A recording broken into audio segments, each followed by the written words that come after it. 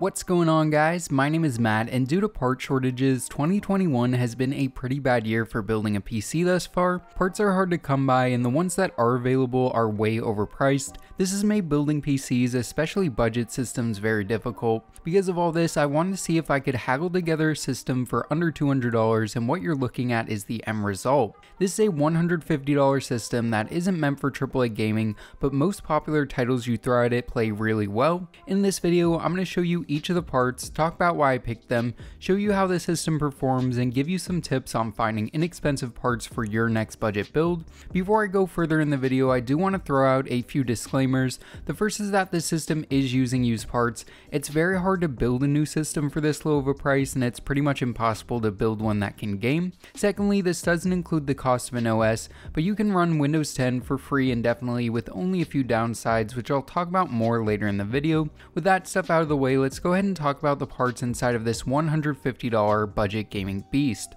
Let's start things off with the CPU. For a number of years now, the extreme budget CPU meta has been going for a second gen Intel Core processor as they provide great value for dollar, and for this build I am going that route, but there is one catch. Instead of going for a traditional i3, i5, or i7, I'm actually going for a Xeon CPU. Xeons are meant for workstations and servers, but the only major difference between these and Core i processors is the support for ECC memory and no integrated graphics. What I went with is this Intel Xeon E3-1225. This is a 4-core, 8-thread CPU running on the Sandy Bridge architecture. It has a base and boost clock of 3.1 and 3.4 GHz respectively, and has a rated TDP of 95 watts. One thing very interesting is putting these specs side by side to the i5 2400, we find they are almost identical with the biggest difference being the lack of integrated graphics on the Xeon. With this being said, it's not a big deal in this case as we are going to be using a dedicated graphics card and not using the iGPU at all.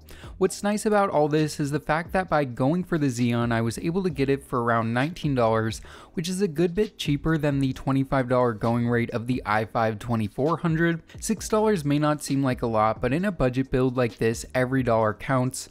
So with the CPU picked, I needed a motherboard for it to go into. If you're on a super tight budget, going for a motherboard from a pre-built system can often be a good option as they have much less demand and in turn much lower prices. With this being said, you need to be very careful with your selection as many of these boards are very proprietary and will not work with standard components. What I went with is this Dell Optiplex 390 board which I got for only $11. This is much cheaper than standard 1155 boards and is for the most part pretty standard. There is one weird thing you have to do when building with it, but I'll discuss that as the video goes on. In terms of features, this is a pretty basic micro ATX board with two DIMM slots for our RAM, a 16x PCIe slot for our graphics card, and a fair bit of room for future expansion. The back panel I.O. only has USB 2 ports, which isn't great, but is to be expected as again this board only cost $11. Something you may also notice is there's no I.O. shield installed, which is because the board didn't include one.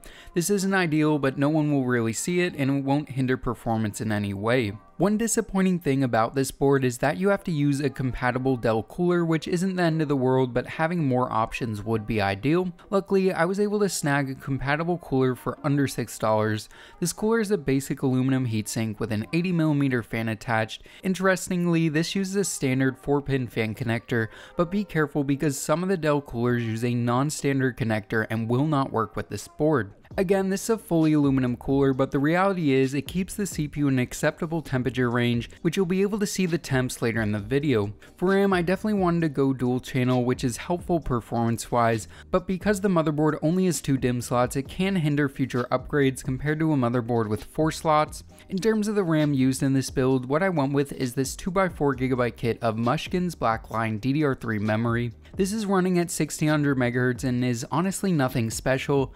This was just under $20, which is pretty standard pricing for a kit like this. One thing to note is the prices in these screenshots might be lower than what I list in the video, just because older eBay listings don't show the price of shipping, so many had free shipping, but the RAM for example did not, and I want to be as accurate as possible with the pricing. 8GB is enough for most popular titles like Fortnite, CSGO, and Rainbow Six, but trying out new AAA games will show some issues. With that being said, the other components in this build aren't that great at playing those titles either, so it's fine. In terms of the graphics card, this is an area where I did have to do a lot of hunting to find a good deal.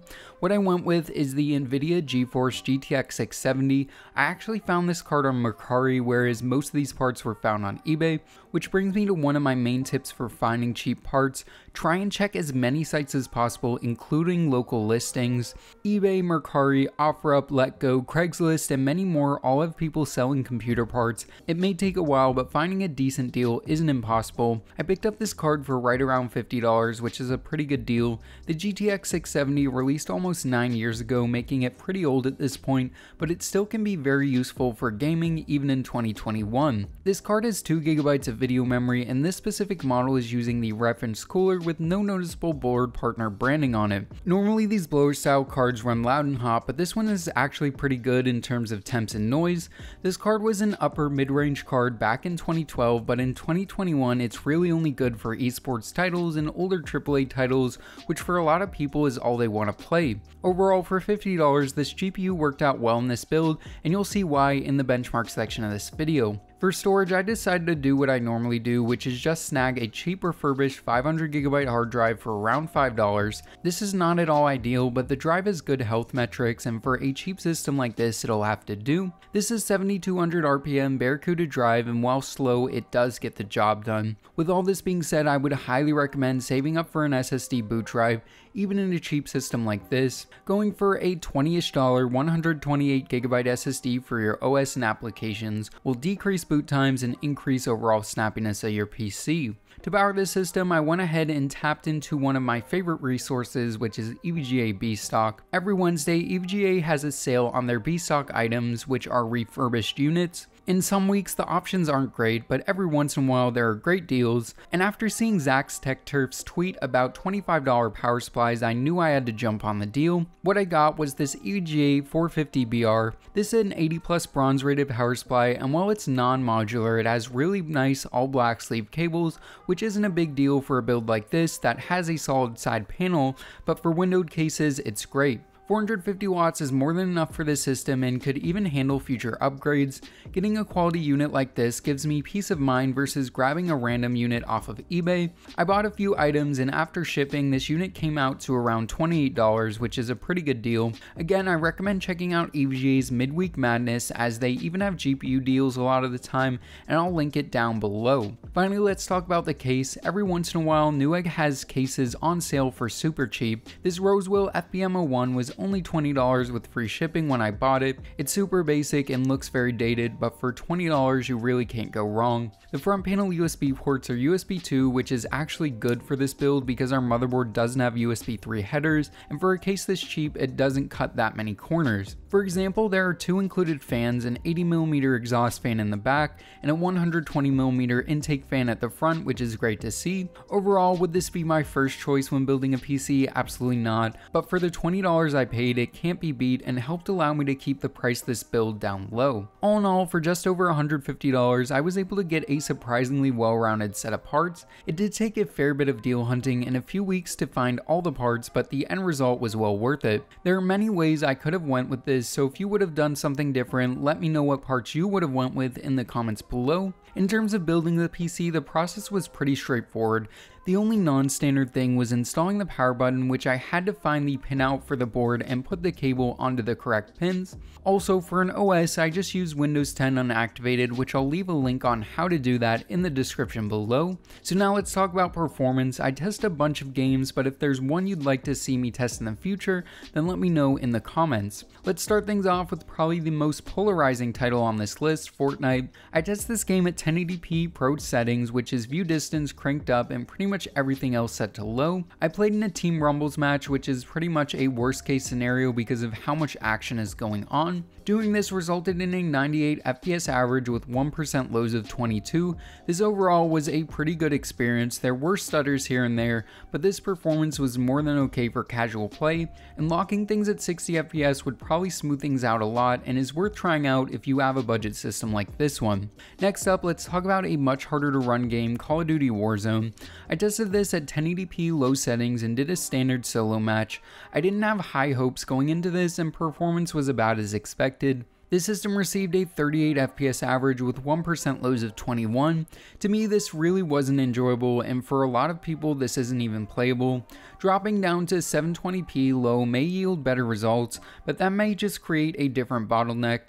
Next up is Borderlands 3, which is pretty hard to run. I tested this game at 1080p low, Doing this resulted in a pretty impressive 47 FPS average with 1% lows of 25. This is great to see the system can run a game like this at well above 30 FPS and shows that if you're okay with lower FPS, the system can actually run newer titles. As an example of an older AAA title, I tested GTA 5 which was because of a viewer request. I tested at 1080p high using the built-in benchmark, and doing this resulted in a 55 FPS average, which is great to see. You could definitely adjust the settings to get a 60 FPS average, but 55 is good enough for me personally. In Rainbow Six Siege at 1080p medium using the built-in benchmark, the system put out a 121 FPS average with 1% lows of 81. This is pretty good performance and should be more than enough for casual play and maybe even competitive play. In CSGO, I tested the system at 1080p pro settings, doing This resulted in the FPS staying in the mid to upper 100s most of the time. I'm awful at CSGO, but this performance seemed good and overall very smooth.